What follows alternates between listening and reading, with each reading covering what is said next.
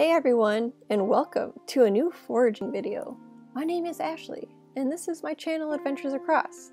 Thanks for being here. This video is all about pheasant-backed mushrooms, also known as dryad saddle. Before we get started, I wanted to give a few disclaimers. When foraging for wild food, make sure to consult an expert about what you are picking. Make sure it is 110% safe to consume because there are toxic plants and mushrooms out there.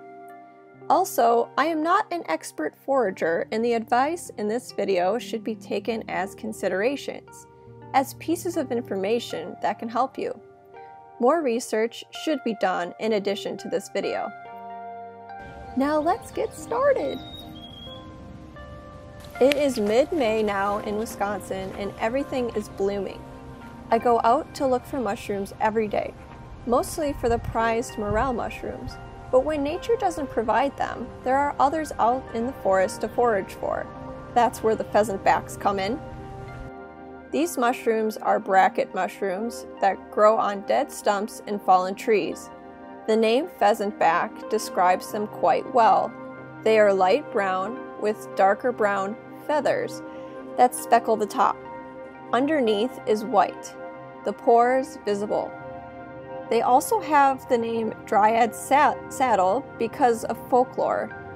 It looks somewhat of a saddle that dryads, tree nymphs, could sit upon. One of the best ways to identify this mushroom is the smell it gives off when picked. It smells exactly like cucumbers or watermelon rind, a very fresh and relaxing aroma.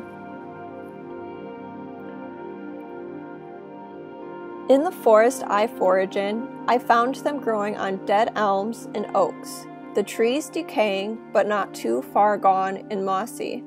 The thing about pheasant backs is they become quite hard and leathery if you pick them too big.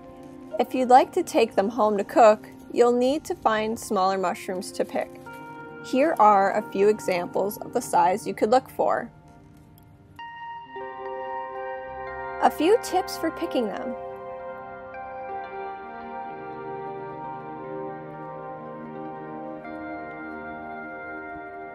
If the pores underneath look open, they are too ripe and won't be good. If the stem is too tough to slice through with your forager's knife, again, it is too ripe.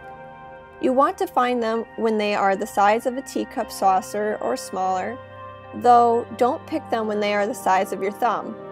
I like to pick them when they are in between. When foraging for anything, be sure to only take what you plan to use and to bring along a pocket knife. I like to cut the pieces I'm going to use to leave the mushroom mycelium intact. And same goes for plants only cutting what I need and doing the least harm and distress to the plants by cutting with a knife. Wild mushrooms must be cooked to be consumed, and dryad saddle is no different. There's a few ways I like to prepare them. Vegan, of course. First is sauteed in vegan butter with some ramps and garlic mustard. They are versatile in Asian style foods, and to me they resemble shiitake mushrooms.